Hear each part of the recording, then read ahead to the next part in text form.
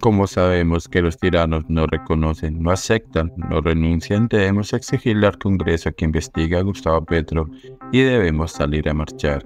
Nos vemos a las 9 de la mañana en el Parque Nacional porque vamos a exigirle a este exgobierno que dé respuestas claras y asuma su ilegitimidad.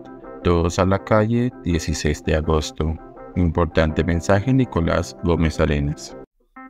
Esto es inaceptable, colombianos, bogotanos, debemos salir a marchar el día de mañana para poder mandarle un mensaje claro a este gobierno corrupto y ilegítimo. No sabemos qué narco falta por decir que le dio dinero a Gustavo Petro. No podemos dejar pasar la corrupción del pacto histórico y debemos reclamarle a las autoridades, a la Cámara de Representantes, para que investiguen al presidente, porque la renuncia no va a llegar. Los tiranos nunca renuncian.